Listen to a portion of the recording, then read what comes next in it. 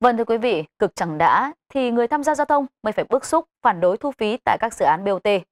Một câu chuyện khá thú vị và khôi hài vừa xảy ra tại trạm BOT quốc lộ 2 tỉnh Vĩnh Phúc là một điển hình cho sự mập mờ trong hoạt động thu phí. Khi mà Tổng cục Đường bộ Việt Nam phát hiện có những bất thường trong hoạt động thu phí và đã truy thu số tiền lên tới 1,2 tỷ đồng. Tuy số tiền là không lớn nhưng thực sự đang có những lỗ hổng trong hoạt động thu phí. Hệ thống giám sát thu phí hàng ngày tại trạm BOT quốc lộ 2 do công ty cổ phần BOT quốc lộ 2 quản lý. Khu vực này luôn thường trực có lực lượng giám sát thu phí 24 trên 24 giờ.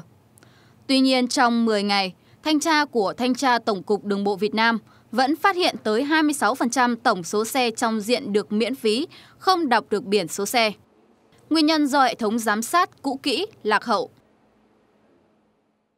Công nghệ ở đây là nó cũng là lâu rồi, lắp đặt từ năm 2008 nên là bây giờ nó cũng còn nhiều những cái nó uh, công nghệ nó không được uh, thông suốt nhưng mà cái này thì cũng là khắc phục và xin ý kiến ở trên để lắp đặt thêm những cái công nghệ nó theo như bây giờ hiện đại như bây giờ.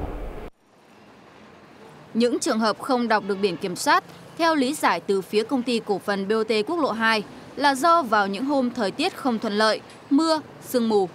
Tuy nhiên với tỷ lệ phương tiện không đọc được biển kiểm soát lên tới 2.083 lượt xe với tổng số tiền cả tỷ đồng phải truy thu thì thật đáng suy nghĩ.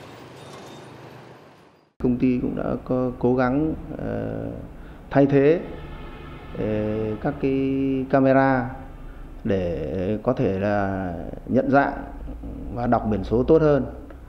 À, đồng thời là cũng trong thời gian tới thì à, đối với những cái ờ, camera nào mà nó có biểu hiện là nó kém hoặc nó mờ thì sẽ tiếp tục thay thế để cố gắng là hạn chế tối đa cái việc ờ, không nhận dạng được biển số này. Minh bạch hóa hoạt động thu phí theo nhiều chuyên gia giao thông đã đến lúc phải làm triệt để.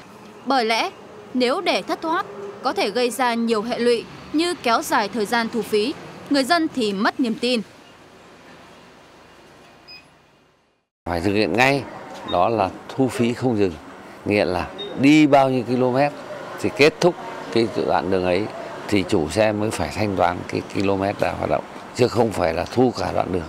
Sẽ cái chuyện là rất rõ doanh nghiệp làm đường đấy, là người ta sẽ thu lợi rất nhanh và cái việc thu lợi đó có minh bạch hay không thì nhân dân không giải giải gì không không không biết được ở đây tôi không phê phán bộ giao thông hoặc là bộ tài chính nhưng mà cái việc thu bao nhiêu xe trong một ngày là bộ tài chính có biết không bức xúc phản đối thu phí, bịt mặt đếm xe qua BOT.